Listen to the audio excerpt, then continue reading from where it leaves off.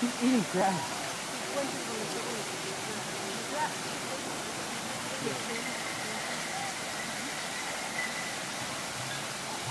Imagine one of those things running up.